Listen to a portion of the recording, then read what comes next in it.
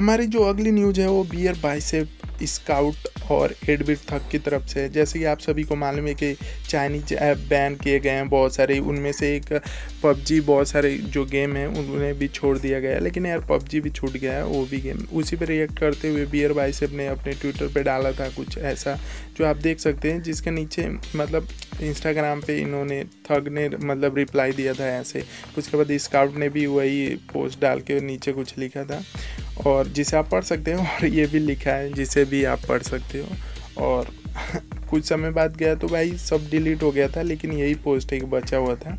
जैसे आप देख सकते हो तो यार ये न्यूज़ आप देख के कैसा लगा है, वो नीचे ज़रूर कमेंट कर देना और लाइक सब्सक्राइब शेयर कर देना यार मेरे